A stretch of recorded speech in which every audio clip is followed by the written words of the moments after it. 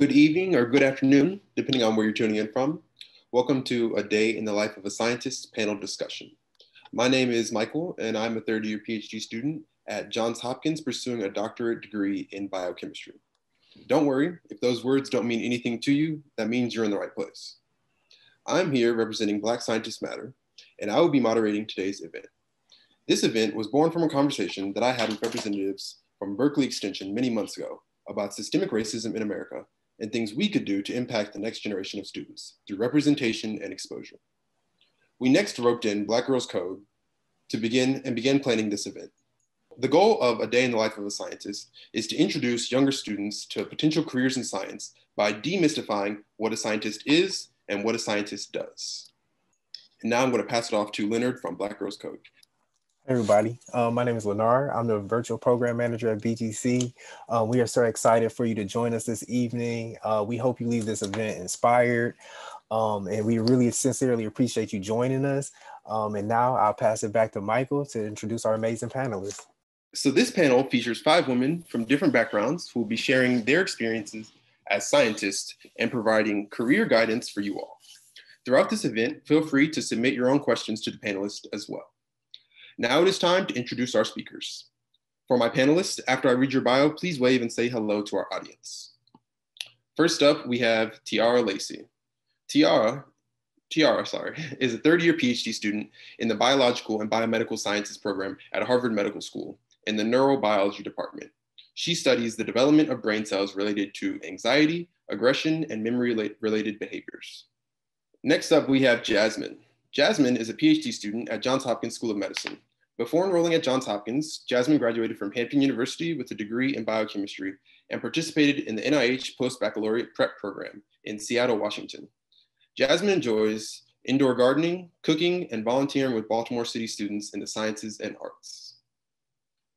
Glad to have you, Jasmine. Next up, we have Marilyn Berrigan. Marilyn Berrigan is a first generation college student born in Los Angeles and raised in Kansas. She is currently a first year MD PhD student at the University of Illinois at Chicago. She's going to explain more about what an MD PhD is for us later. She graduated from the University of Kansas in 2018, where she majored in molecular, cellular, and developmental biology. And she has been involved in research ranging from bioengineering to public health. Outside of research and studying, she enjoys reading, running, and going out to dance with her friends. How are you doing, Marilyn? Next up, we have Chiamaka Ukachukwu. Chiamaka is a third year PhD candidate in the Department of Pharmacology at the University of Michigan, where she studies heart disease. An alumna of the Fulbright program, she completed a one year research project in Belgium investigating mechanisms of antibiotic resistance, while also advocating for Black scholars in the program.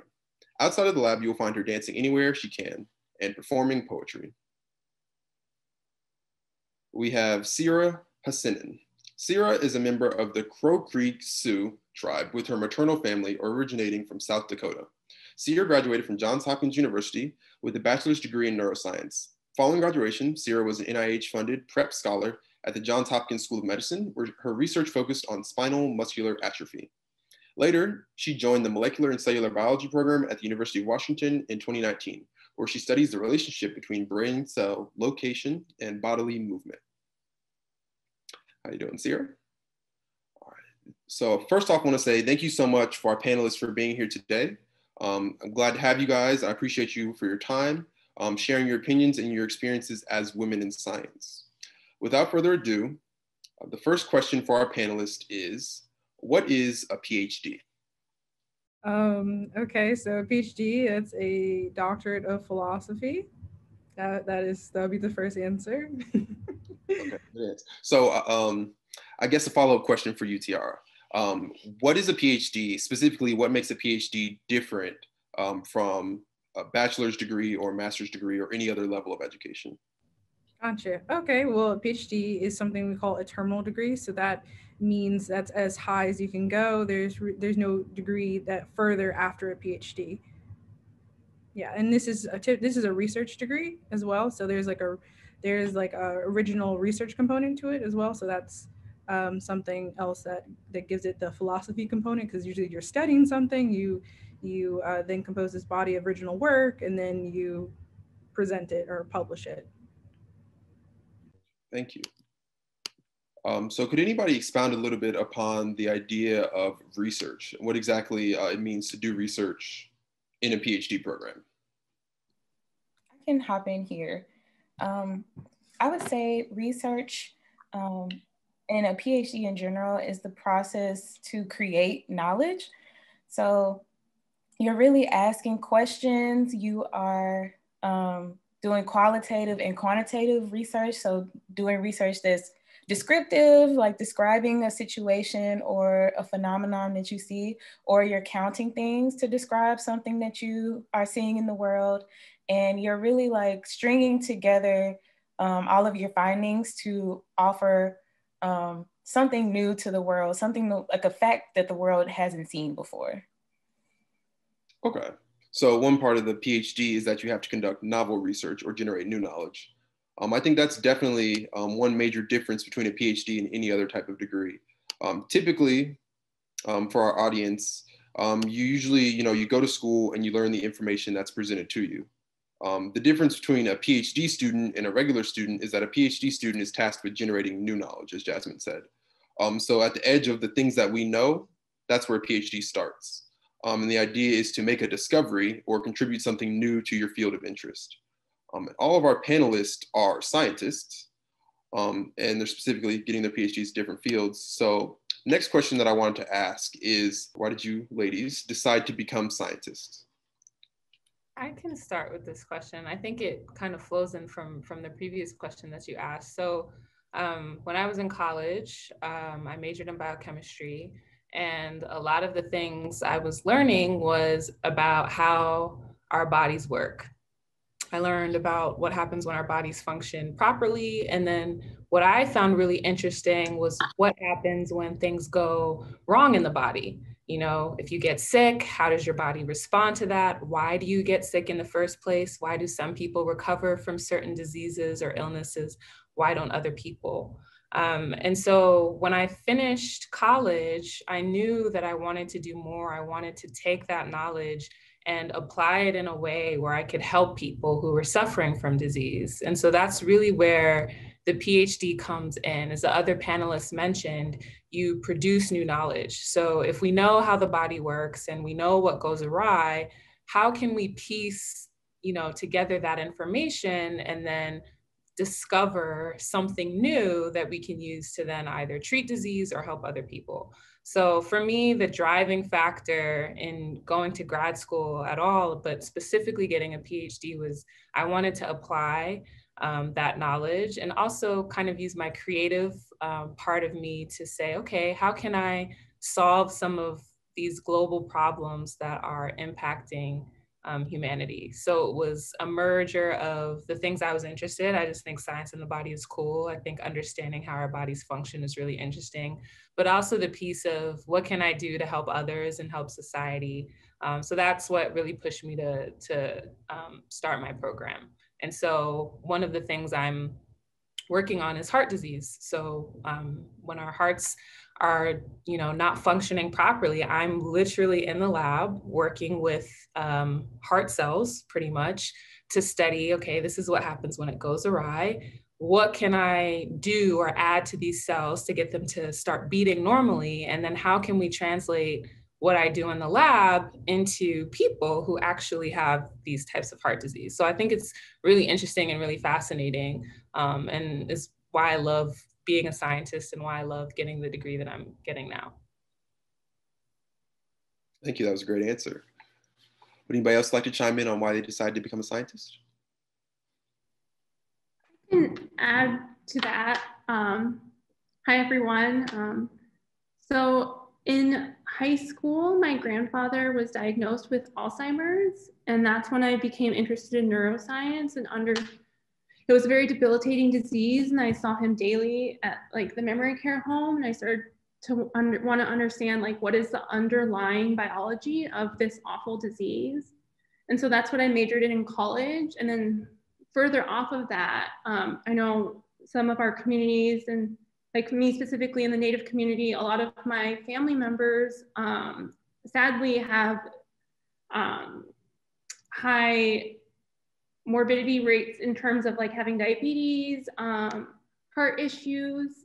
And so this is something that was personal that I saw like firsthand and I wanted to, you know, have an impact on that by doing research, which, you know, research can make a huge impact on the world. Whereas like, um, you know, it's great to be like an MD doctor where you're helping people one-on-one, but research has the opportunity to like find new therapies for multiple people and help us understand like what is the underlying factors, genetic factors, as well as like we know a lot of our communities have different environmental factors that might be at play. So all of these things are reasons why I also became interested in research. Thank you. I think you touched on a great point, um, which is really the difference between a medical doctor and a PhD. Um, so, you know, medical doctors see patients and they, they diagnose diseases, but PhDs are really the ones doing the research to find the cures and the treatments. Um, and so definitely less patient contact, but maybe uh, more broadly applicable depending on how you think about it. Um, so I appreciate uh, both of you guys' inputs, Sierra and Chiamaka. Um, could one of our panelists give us the brief outline or the structure of what a PhD looks like? I think we'd be remiss uh, without having Marilyn chime in on this MD PhD um, chat right here. Yeah, I would love to chime in actually, um, since you mentioned, Michael, the difference between a doctor and sort of um, like a PhD doctor. Um, I'm completing an MD PhD, which is both a medical degree to become a doctor who sees patients, and then a PhD doctor who actually learns how to conduct research, um, which is what all the other panelists are doing uh, to kind of become experts and contribute um, to the scientific knowledge that a lot of the times doctors use in order to um, come up with a treatment plan for their patients. And so I'm doing both and it's a lot, but I think it'll be very rewarding um, because not only will I have um, my own patients that I get to see and learn, um, learn from and see how their kind of how the disease manifests in their own life, but I also get to think about what are like the critical points that we should be studying and better um, understanding through research. And so that's kind of my um, career goals. And I think I decided to become an MD PhD because I really didn't want to just choose to be a doctor who just saw patients and a scientist who worked on the discoveries. I really wanted to be a doctor who worked on discoveries related to sort of what I saw as a doctor. Um, so yeah, it's a little bit about why I went into um, an MD PhD program, which I can talk more about later. Thank you. We would gladly hear more. Um, so uh, I guess TR, could you answer um, the question that I was asking about the structure of a PhD? Um, so when you decide to go to grad school, you know, you wanted to study biology because you're interested in learning more about treating diseases or doing research. Uh, once you get to grad school, what does it take to finish or to uh, get a PhD? tenacity. that's what it takes. Honestly, I think anything you do in life that's worthwhile is going to take a lot of. So it just you just um, just this will to like not give up. So that's tenacity, just every day because it's hard. I mean, going to school is hard at any level when you're challenging yourself to learn new things. It's it's hard and it's difficult, and especially where we're at. Like I know Michael touched upon it. Like undergrad, you're like learning things that that people have already discovered and then in your masters you're kind of on this this kind of uh, I would say like no man's land of like learning learning new things that well learning things that people have already discovered and trying to create new knowledge but then with PhD depending on what type of program you do you're just you're getting playing catch up with things that people have already found and then while simultaneously trying to create new knowledge and so it's just this balancing act there, but um, more of like the structure. So do you mean like first year through like graduation or do you mean like in a typical day? First year to graduation. First, oh, okay. So first so, year. Question, sorry cut you off. First question is how long does it take? Oh, um, I would say it depends on your program. So see like my program like that, they don't ever like, that's the one thing I miss about like undergrad or like more structured programs is that it'll say they'll say okay you're gonna be done in like two years or you're gonna be done in like four years but like a phd is different it's self-paced and so it's kind of whenever you finish. And i'm like no and so like for my program like the average time that people typically finish is about like if they said like 5.6 years so like rounded up six years but um yeah that's for i'm doing a biological uh, sciences phd but i mean depending on if you're doing like a computer science phd it could be like four to three years. Or you know if you're doing like a uh, what is it? Just a real hardcore neuroscience one it, you could be doing eight seven eight. Just depends on where you're at. Thank you so uh, Tiara told us a little bit about how long it takes. Could anybody tell us a little bit more about like the actual process? I'll jump in on that. Um, so the process, once you're already in graduate school, for about the first year to the first two years, you'll be taking classes, getting to know your cohort, um, rotating in different labs so that you can try out um, different subjects and get your feet wet and figure out what you like. Um, and then around year two to three, you'll choose a lab, you'll start reviewing all the things that you learned in the first two years, and you'll take an exam, sometimes called a qualifying exam. And it's not a written exam for most people. You usually get up in front of a panel of your mentors, other scientists, and you kind of explain what you know.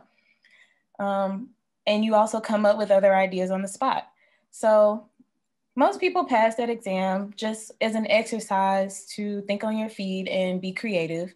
And then you pass you after that exam, you move forward and you work in your lab, you start asking questions um, about your research and you start to collect data. And then eventually you'll start writing a dissertation once you're at the dissertation point, you're almost done. And that's really a PhD in a nutshell. Thank you. That was an amazing uh, description. So you mentioned um, part of a PhD is actually doing research and going into the lab. Um, but our audience, I don't think they are really familiar with what research is or what it looks like. Um, so could one of our panelists tell us a little bit more about the day-to-day activities of being a scientist? I can start.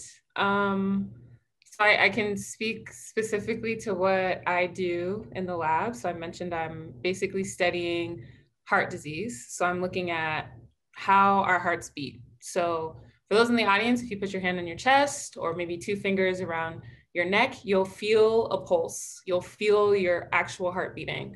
And so what we do in the lab is study what are um, basically proteins, which are, um, you can call them entities in your body that are responsible for regulating that heartbeat. So if you get excited, your heart will beat a little bit more faster. Maybe when you're asleep, it's a little more calm. So we're studying the patterns of your heartbeat and how we can monitor that. So in the lab, for example, this week, I'm going to go into our research facility and we have cells that are basically mimic human heart cells. So they're not actually cells from humans, but they're cells that mimic what our heart cells do. Um, and then I'm going in in the lab with these cells and basically studying how they work. So what regulates them, um, what changes that rhythm that you feel in your heartbeat, what happens when things go awry and how can we fix them. And so I'll take a dish of cells, look at them under our microscope. So that allows us to kind of just laser focus in onto these cells and see how they're behaving. And one of the things I really like about the project is we have different types of compounds or drugs, essentially, that we're trying to turn into medication. So to treat specific types of disease. So I'll first monitor these heart cells, heart-like cells, and then I'll add these drugs and then I see, okay, how does that change the rhythm? Does it make them beat faster? Does it make them beat slower? Does it beat in the way that I predict it's going to be? And if yes, then what's the next step? So I would say generally the day to day is just kind of like asking small questions and trying to come up with the answers so then you can build kind of a bigger story. The long term goal would ultimately be to finish the project with a new therapy in hand, something that we could literally give to people that have a certain type of heart disease. But there are a lot of checkpoints along the way to make sure that these drugs that we're working with in the lab, these potential medications aren't going to harm people. Um, so there are a lot of things that we need to test to make sure. So you could kind of think of it, I would give the analogy if, if anyone likes to cook or likes baking, it's like you know each step of the way you're you're tasting to make sure okay this this tastes the way that i expect it to i can move on to the next step. I can add the next ingredient. And then the final product is what you want maybe a 10 course meal or a really nice cake. So it's kind of adding little bits and pieces to the story until you're sure as sure as can be that you have the final product that that you want. So that's kind of my day to day in the lab. Thank you would anybody else like to chime in? I really like the baking analogy because when I think about my day to day in the lab, if I was baking, I would need like a mixer or a whisk or a spatula, um, an oven. And so when I go to the lab, I'm using certain instruments in that same type of way. So there are special machines that I think all of us might use depending on what we're interested in. And so we kind of read um, to figure out what step we're at.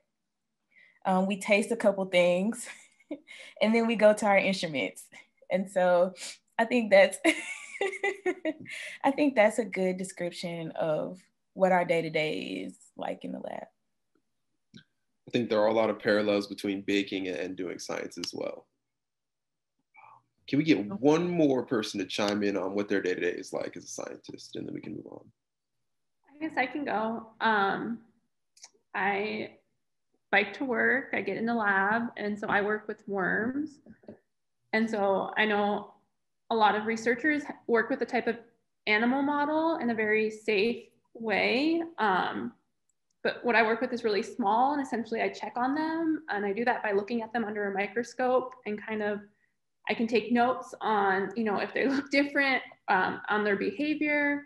And then also something I can do is like um, change the genetics of these worms through um, what's called like a mutation. So you mutate um, the worms and you can also do this in like other animal models and then also see how that changes. So I work with a lot of microscopes. I do um, behavior assays. So looking essentially just looking at how they behave. Um, and then I also talk a lot to people in my lab. Like, thankfully, I'm in a lab where I enjoy it. I made sure to pick a lab where I like everyone that's in the lab and I feel comfortable with. So they're my friends. And I meet with my boss, um, who is called a principal investigator. And I'll sit down with him and talk about my project and what I need to do to stay on track to you know, keep doing my experiments to, um, you know, what I need to do in order to be a scientist. And he's sort of like one of my, one of my many mentors, which is another thing, like um, I would advise that through grad school, I found a lot of mentors along the way. Um, and then a lot of sitting at my computer, like looking at data and putting them in like pretty figures. And that's when you can be a little bit creative sometimes too. Yeah. Thank you. So I guess for our audience, um, who are all you know younger students, uh, graduate school seems kind of far off um, because you know they haven't yet gone to college, and then what comes after that.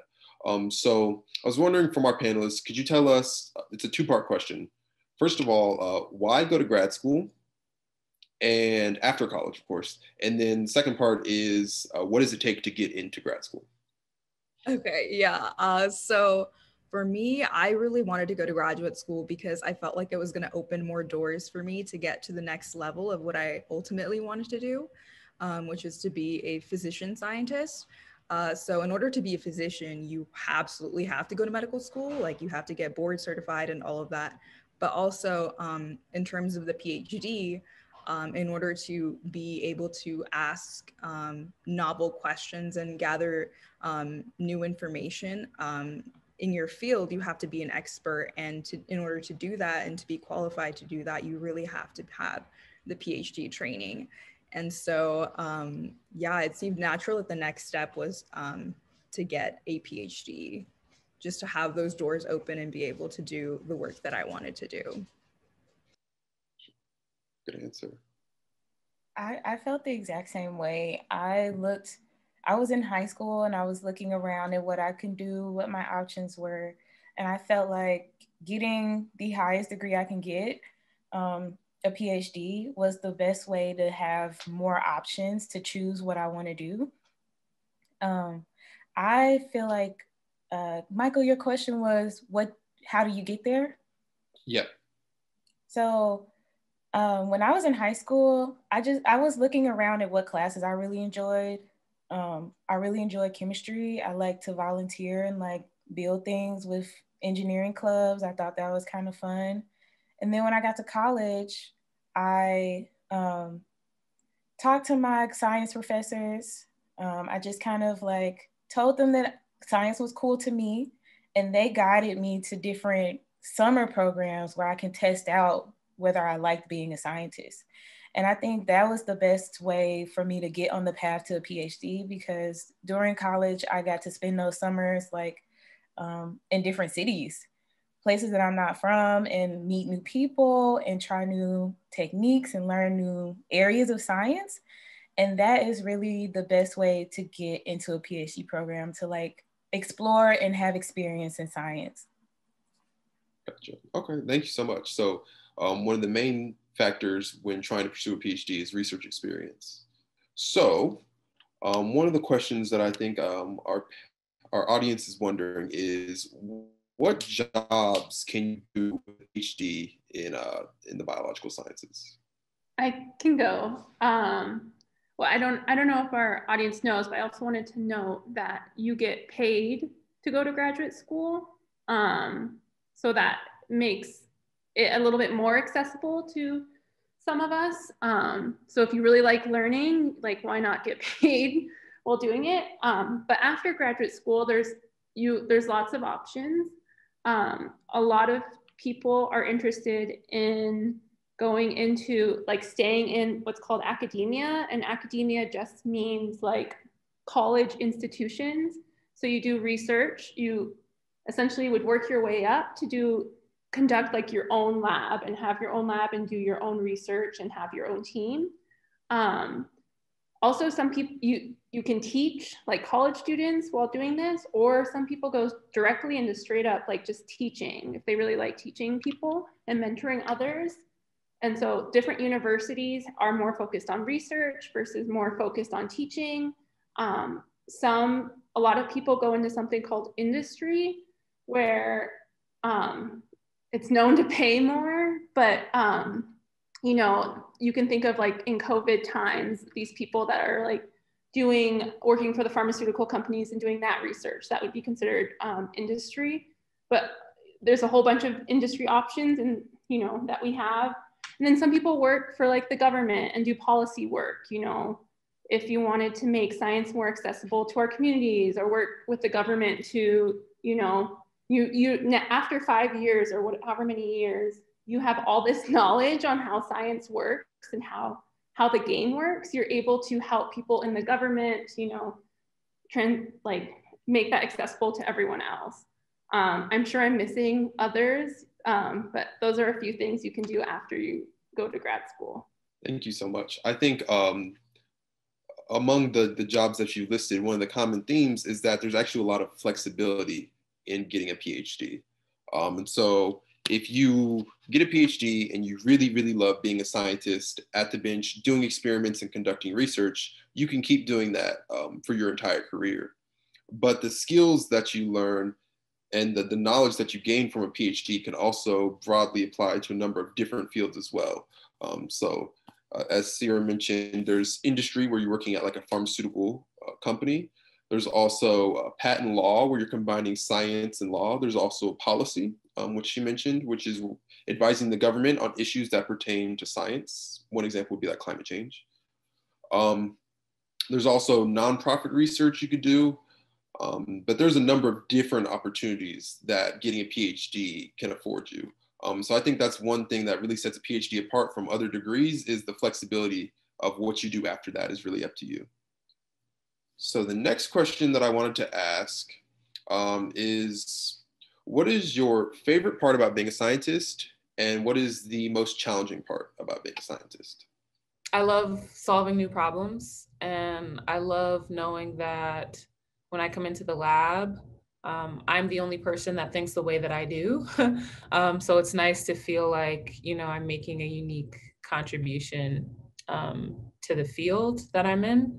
Um, so I think one of the things that I really wanted was, you know, I, I wanted to answer different questions every day and I didn't want to feel like I was doing the same thing over and over and over. So it's it's nice to know that there's always going to be a problem that needs to be solved and there's something that I can do um, to help with that. I would say the most one of the most challenging things um, about the program is kind of also related to um, what it takes to get into grad school, but I would say um, failure and learning to be comfortable with that and move past it. So um, I would say part of the reason PhDs vary in time is it depends on how hard you fail and how quickly you get back up and and um, you know answer those questions that you need to figure out. Um, but it is learning how to persevere, um, being comfortable with not knowing the answers to things, and picking yourself up and affirming yourself and your worth when things don't go um, the way that you want. And I think that's just a valuable life skill to have no matter what you do. Um, and related to that, I think that's also part of kind of getting into the program. They can be relatively hard to get into, but you know, I'm a firm believer if it's something you're passionate about and that you love, where there's a will, there is a way, and there are people who are willing to help you. So, um, yeah, I would say kind of learning to overcome your challenges with grace and still from you know a good place. I would echo those same sentiments. Uh tiara did you want to yeah i think everything was pretty much covered. Yeah I just like the hard the favorite part is like learning new things and then i would say the hard hardest part is to you know just failing with grace over and over every day. Yeah um yeah i think that that's definitely a hard part but then also like it goes back into like the whole having uh, having this will to like persevere and i think that that's like uh like anything it's a muscle. It, you just it like you start off kind of weak and you're like oh oh no they said they didn't like my presentation uh. And then eventually it's like oh ha ha ha they didn't like my presentation. Let's go edit it and make it so that it's less awful. So yeah so yeah i think that it's I see a couple of somebody laughing because yeah, it resonates. Yeah, grad school's hard. But I mean, I think that's also the same thing with any level. I think that that's starting young. I mean, just dealing with failure and like learning to deal with fa- failure. That's like a great skill to have going into grad school. Because if this is the first time that you have failed or the first time you've been told no, let me tell you, baby. Jasmine, you look, you got something to say. I was just like, baby girl, this is not it. This is not the only time. But no, I I definitely um, can relate to that. I would say that the the best part about graduate school is seeing yourself grow. So just like the presentation example, like your presentation can be awful the first time, but soon you'll be killing it. And I think that is the most fun. Um, and that, that makes it the hard part too, is just really kind of locking in and being dedicated to growing. That can be difficult sometimes. Yeah. So um, you guys all touched upon a common theme, which is perseverance. Um, but for those who aren't familiar with conducting scientific research, why is failure such an integral part of the process? I don't know. I think of like this, the like the Thomas. Is it Thomas Edison, y'all? The Tom with the light bulb, where he was like he failed like a thousand times, and then like the thousand and first time he got the light bulb to work. And so I think it's just like failure needs to happen because to rule out things that don't work. And if you get things right on the first time, you really don't learn very much from that. Yeah, I mean, even though it's like it's nice, like, oh, this is a W, but it's like, do you truly know why this is a W? Not at all. You're just going with the flow. And on top of that, if if there was no such thing as failure in grad school, we would have discovered everything by now. Um, so we have to fail and like figure out how to improve upon those mistakes so that we can like discover things. So yeah. Uh, exactly. I feel like if if it's new, we're supposed to be doing something new. We're supposed to be creating new things. And when things are new, you don't get them right the first time. I think these are all great points. Um, I think one easy example is like with the COVID 19 pandemic going on. Um, if scientists had all the answers on day one, we would all be able to go back outside without masks on. Um, but we can see that when you are asking very difficult questions, um, scientifically, it takes a lot of time, it takes a lot of trial and error um, to get the right answers. Um, so I think that's really a part of the process of being a scientist. When you're asking those hard questions, is to persevere because you're going to get way more no's than you will yeses um, when you're conducting research. So the next question I would like to ask our panelists um, is, what piece of advice would you give to um, a younger student who's interested in a career in science? Uh, I can answer this one. So I actually um, started getting interested in science my senior year of high school. And I remember that I didn't really know where to start because it's very um, daunting when you first are kind of interested, kind of like, how do I even join a lab? Like, what what does that step look like?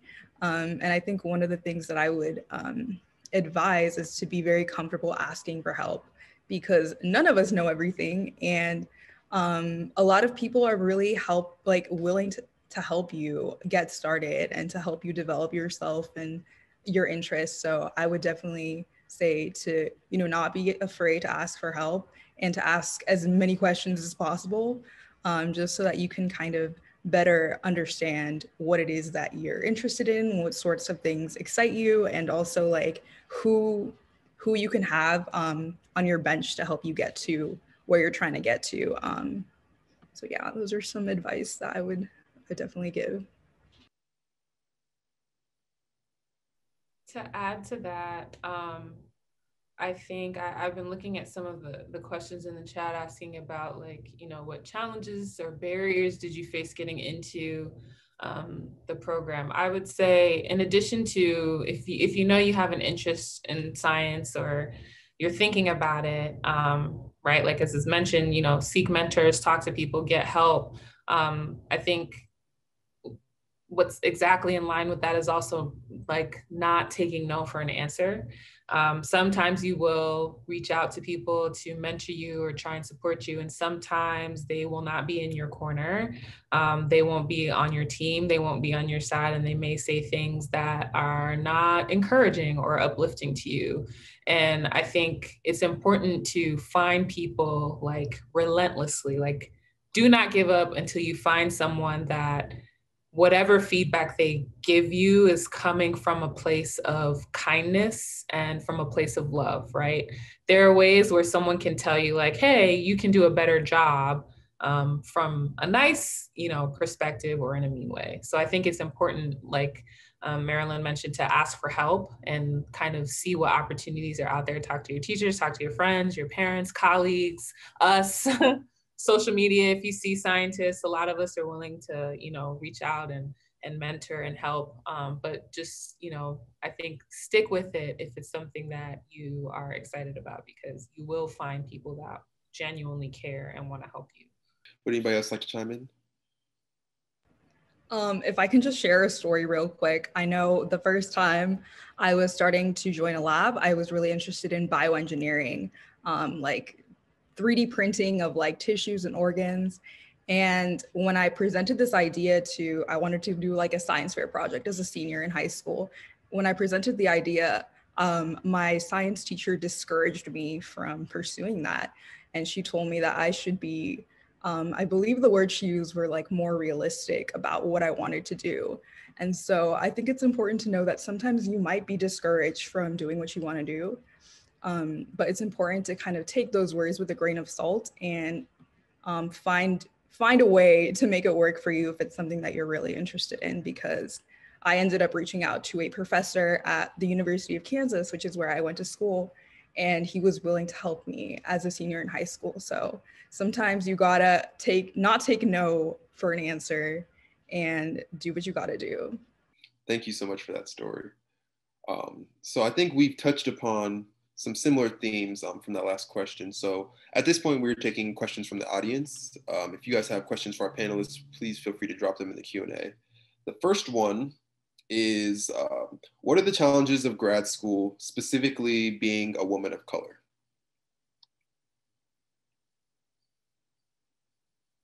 Woo, Chile. Uh, just gonna laugh it out. You know, laughter is therapy. Well, um.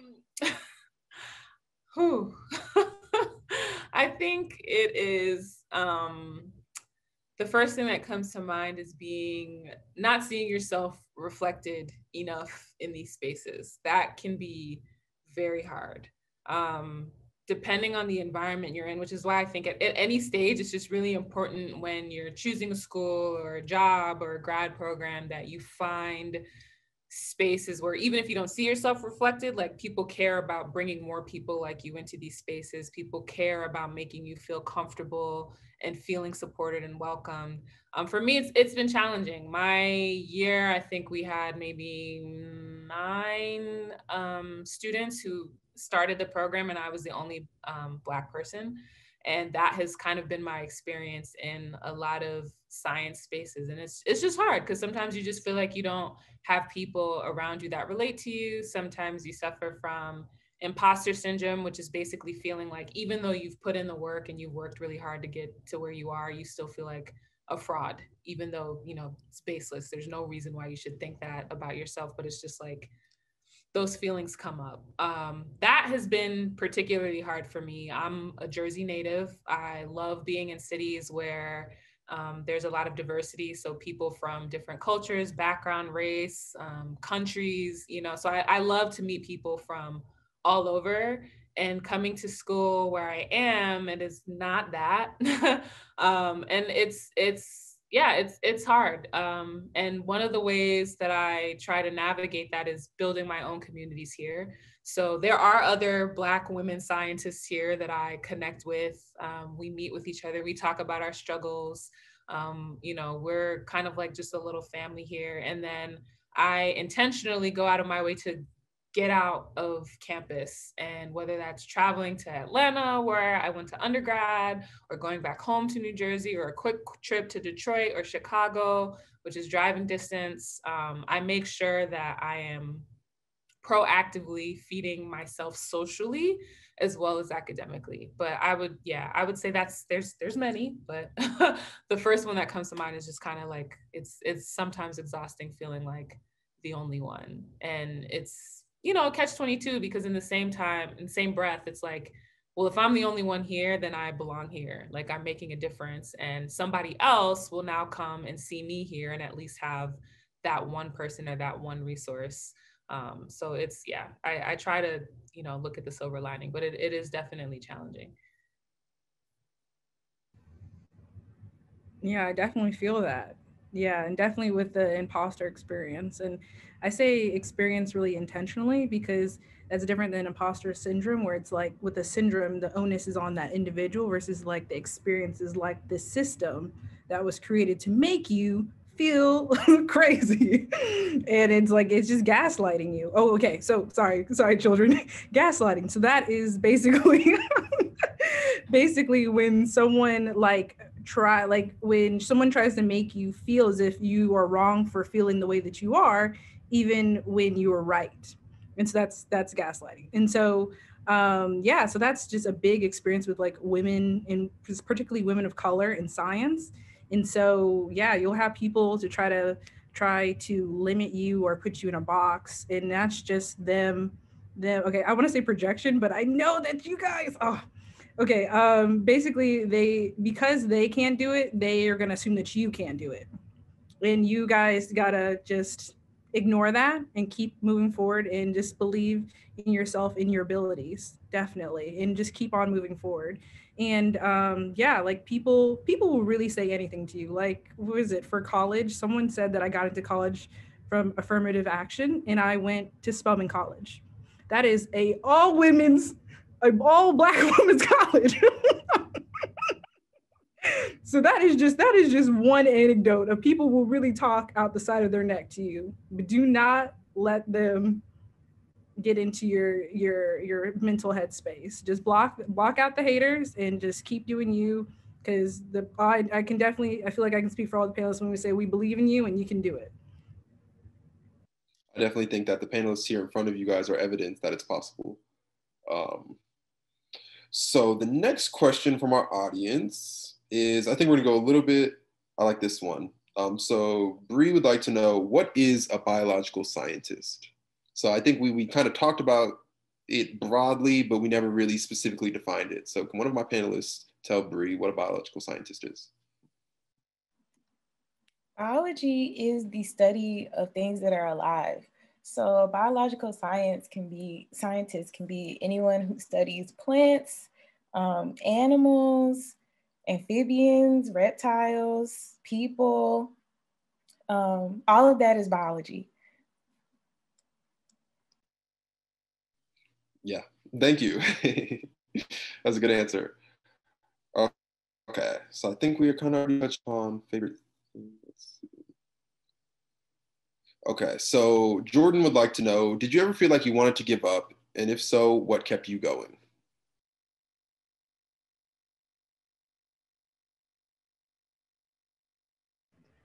Uh, I definitely have felt so overwhelmed um, multiple occasions. I think part of that also comes with like burning out, which is kind of a way to say like getting overworking yourself to a point of exhaustion. Um, I think in science, we push ourselves really hard, um, just like to, to do our best. Um, and we work really long hours and we study a lot um, to pass our classes that are very challenging. But um, I think for me, what kept me going was just kind of knowing that it was going to be um, worth it at the end, at the end goal, like it was going to be um, delayed gratification, but that it would be rewarding to be able to be gathering new knowledge and hopefully that that knowledge was going to make a positive impact on my community and on society more broadly. So you kind of have to remember the bigger picture. And then you also have to, along with that, kind of learn how to take really good care of yourself so that you don't get to that point of wanting to quit. Cause really that's um, not healthy. But yeah, I don't know what other people want to chime in. I would say this in those times would be a good time to fall back on your support system that you would have created, um, and they can help lift you up. So when you're feeling down, you'd go to those people, and so that's why you want to make those um, connections before that happens. And sometimes, you know, it if something is like troubling you that much or it, like people it, graduate school isn't for everyone. Um, so there's a time and point when you have to think about what you want to do. You, there's still many ways you can do science so yeah. I wanted to say for me i would say um, thinking learning how to think long term helps me with figuring out how to not give up on things. So and like uh, in terms of anything in life. Like if you play a sport or if you play an interest, in, instrument, sometimes you're practicing and you really do want to give up, but then you think, oh, far off a few months from now, I really wanted to like beat this other school. I really wanted to play this game. I really wanted to play in this concert. Um, and so I think that keeps you motivated in the times when you feel like you want to give up. You start thinking about what your goal was in the long term. I think that's a great point. I think all the panelists um, that spoke on that question are kind of touching upon similar um, ideas, which is when in doubt, because um, it's normal throughout our journey to encounter adversity and setbacks and to be down and to want to give up. That's normal. Um, but it's important in those moments to remember why we're doing what we're doing and who we're doing it for. Um, and I think that as long as you can remember your why when things get hard, it's a lot easier to uh, persevere through um, because you know that your end goal is bigger than your current situation. So the next question from our audience is, so I guess this is a little bit more uh, relevant to them. They want to know uh, what are the best suggestions for colleges? Um, and so for my panelists, I'm going to tweak the question a little bit. Why did you choose the college that you chose? And then how did it help you get to where you're at now? HBCUs all the way, um, or Hispanic serving institutions or Native serving institutions, all of those. Um, go to places that are really invested in your like your personal development. Um, I went to Hampton University. Um, I will be honest and say uh, for financial reasons, like HBCUs do give, in my experience, like better scholars, scholarships, better financial packages. Um, and that was just really the icing on the cake because when I got there, I realized all of these professors um, look like me or from another underrepresented background, and they really know how to talk to me, they care about me. Um, and so I really, I'm an advocate for HBCUs.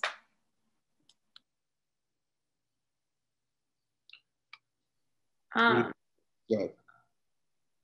um, I was just going to say, playing sports opened the door for me to go to college. Um, I played soccer uh, at a var- at the varsity level level at Johns Hopkins, and so like I would have never imagined myself going to a school like Johns Hopkins, but um, you know, playing sports opened that door. I can chime in as well. Um, so I'm not sure if everyone knows what an HBCU is, historically Black college and universities. Um, just wanted to define that for the younger folks. Um, and I kind of wanted to touch on a question I see in the chat about if we had straight A's in high school and straight A's in college. Ooh, that's funny. Um, so I picked, so I went to Georgia Tech for undergrad in Atlanta. And my mom actually went there um, for grad school. So I was looking for a school that had D1. So I ran track in college my first year. And I wanted to be somewhere where I would like the city. So Atlanta is a very Black city. I knew I would, you know, have a good time, but also be challenged. And that did not work out in my favor. Um, school's rough. I did not have anything close to an A or B average. I had a C. I graduated with a C average um, in college. So that actually made it really challenging for me to get into grad school because most applicants have at least a B average, if not an A average or higher. So I actually spent a lot of time um, doing I would say extra work to show that I was capable of, you know, getting into grad school and performing well. So once I once I got into grad school, I maintained an A average, but prior to that, no. Um, but choosing college came down to where would I get the best education, but also be in a space where I could enjoy my life and be in a space where I would be happy. So it's merging that like, you know, what makes me happy and what do I like studying. And then I knew there would be um, a lot of resources for me um, since I, I did know in college I wanted to go to grad school and was interested in doing research. So I knew my school had a really good science program, um, had a lot of opportunities to do research, even though I didn't do research, which anyway. Um, but yeah, that, that was the thinking um, along choosing my school.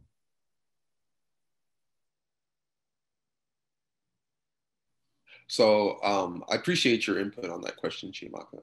Um, and I think that um, one common theme that you'll kind of expect from people who get PhDs is that they're very high achieving, straight A students. Because obviously, if they're still in school years later, like they must love and be really good at it. Um, but believe it or not, making straight A's and passing all your exams and doing really well in school is not necessarily a prerequisite for getting a PhD that's only a small part of what we do as scientists. Because um, again, we're doing research, so we're at the edge of knowledge. So um, as far as learning that information, retaining it, and being able to um, to pass an exam, you do have to be able to do that sufficiently in order to get to the research aspect of a PhD. But from there, um, you know, we're not reading books, we're not taking exams, we're not like filling in the blank or answering a multiple choice question. We're in the lab doing experiments, asking questions, uh, being resilient, perseverance um, is very important. And so there are a number of skills beyond just what grades you make on an exam um, that will determine your success as a scientist. And that's only one small part of it. So for anybody who out there who is not a straight A student right now, that's okay. that does not in any way deter you from becoming a scientist. So I, I appreciate you for that question as well, Kiara. But go ahead, Tiara. Oh yeah. Um, so I would say my addendum to that would be to always try your best. Yes. So that that would be like my addendum. This isn't us saying, oh no, you can go and shirk your no. Try your very best and and uh, and then also in, in addition to that have like the research experience as well. Um, I would say say in order to create new knowledge, we have to kind of have a mastery of the current knowledge as is. And so even if you're not getting like that A, but you still understand the information and can can kind of um, maneuver with that, then that's that's okay. So that's kind of like the realm that we're talking about. But like at like say like the lower levels like high school and undergrad, yes, you want to get as high as you can because then in graduate school when the when like where the knowledge ends and where like kind of creativity starts is kind of blurred and that's when grades matter a little bit less. But for like this stage where you guys are at hit them books. Thank you for that important addendum. Um, okay so we're running out of time. I just wanted to ask all of our panelists um, individually to answer one last question which is um, what is one final piece of advice that you would give to our audience um, about careers in science I can start. um, I'm going to echo what my first research advisor told me. And she said, um, as long as you stay true to yourself, good things will continue to come your way. So I think, um, you know, thinking about and reflecting on what makes you happy, what do you enjoy doing and pursuing that and not giving up. Um, so I would say, kind of being honest about that, but also getting help and sharing that joy with other people. Just talking to people, you know, who are around you in your communities and saying, like, I want to be a scientist, or I'm interested in this, or I'm interested in that, because the more you talk about it, the more you share your authentic self with the world. I think the more you attract people um, to come into your space and help you achieve what it is that you want, despite the obstacles and the challenges that may come your way as long as you know like this is what i want to do. At least for now that can change or this is what makes me happy. Um, you know pursuing that you know will always be fruitful. I can go next. I guess one piece of advice that hasn't been given really is to like apply to that program or apply to that internship even if you think it's out of reach. Um, you know we some of us haven't been in families that have been gone into academia, like gone to like pres- prestigious schools or whatever, whatever school you may want to go to, whether it's tribal co- college, HBCU, or anything like that. Like you can apply to it, and there's a chance you'll get in. Um, so don't like feel scared about that. So yeah. Uh, uh, I guess my advice would be um, you know, maybe not everybody um, tuning in today is interested in being a scientist, and that's fine because, you know, not everybody likes to think analytically about the world and has, you know, all these scientific questions. But I think it's really important to um, be really passionate and to pursue, you know, what you are interested in with a lot of conviction and purpose. Um, I think that will bring you a lot of happiness, even if your career isn't in science. So I, I really um, recommend you to deep to reflect upon what is exciting and interesting to you to kind of pursue what that is. I think Chiamaka and um, Sierra and Marilyn have really just hit everything. I would add to to um, Sierra's point: don't sell yourself short. Um, someone asked in the chat earlier, and I tried to answer, but I think I think I might have deleted it. Like what what can you do at the elementary level um, and maybe the middle school, high school level? I would say, um, like the other panelists said, really do reflect on what you enjoy, but also use the internet. Look at YouTube videos about things that you like. Find programs in your area that will help you. Um, find uh, professors in your area or high school teachers in your area who run programs or um, so really just continue to be curious. Think about the things that you like and never stop asking questions about those things. Definitely exposure, early exposure to different, to new things to different ways of thinking. Um, yeah, and then just like honing in on the fundamentals. I think that's the best thing at elementary school age is like, okay, like, is there like a program, accelerated math program to get you, say, finishing high school with above grade level math and above grade level science and AP reading, re- this higher level as high level, like how early, early on that you can start getting ahead is just chef's kiss. Like it, you literally do yourself a favor. Like I know for me, I took summer classes in high school and not because I was behind because I was trying to get ahead because I knew in college that it was if I didn't if I didn't start early early-ish then it was really going to bite me in the keister. So if you can start early and maybe take summer courses then I would do that as soon as possible. I would like to add an addendum to that that they can be fun things too. Um, so like for example at Hopkins before COVID we hosted biophysics department hosted a fun and science camp for third and fourth graders. Um, so if you can find things like that where you just are exploring, that will help you get ahead. And give you something to write in your personal statement for graduate school too. Yeah. So I think um, that one common theme that all of our panelists touched upon is that it's never too early uh, to get involved. It's never too early to decide on what you want to do or to at least start exploring options. Um, and I think that's really the purpose of this event um, and events like this and a lot of what Black Girls Code is trying to do is really expose you guys to different career options um, so that when you get to you know our age and you, you go on to college, you choose what you want to study and eventually you're prepared to make the most impact in the world that you can and to be successful as well. Um, so I one sentiment that I just want to echo again is like it's never too early to start. Um, and you can start right where you're at. Um, if you're in elementary school, if you're in middle school, if you're in high school, there are programs available um, that can get you into a lab doing scientific research if that's what you're interested in. Um, there are programs out there already um, that you guys can look into, um, as, as, well as I think Jasmine had mentioned YouTube. Um, there are a number of different resources out there that can really expose you to careers in science. And so finally, I just want to say that thank you so much for our audience for tuning in. Uh, thank you for the organizers for planning this event. And most of all, thank you to the panelists who made it possible. Um, this is the first installment of A Day in the Life of a Scientist. Um, and I think it's been an extraordinary conversation full of information and wisdom. And hopefully it was beneficial to our audience um, and you found it meaningful and encouraging. So as you're going about your, your everyday life, as you're going to school um, and you're considering different potential career options, um, I hope that becoming a scientist one day is on that list. Um, so make sure you guys stay tuned for future A Day in the Life of a Scientist events from Black Scientists Matter and from Black Girls Code, um, where the idea is really to expose students to potential careers in science by demystifying what a scientist is and demystifying what a scientist does.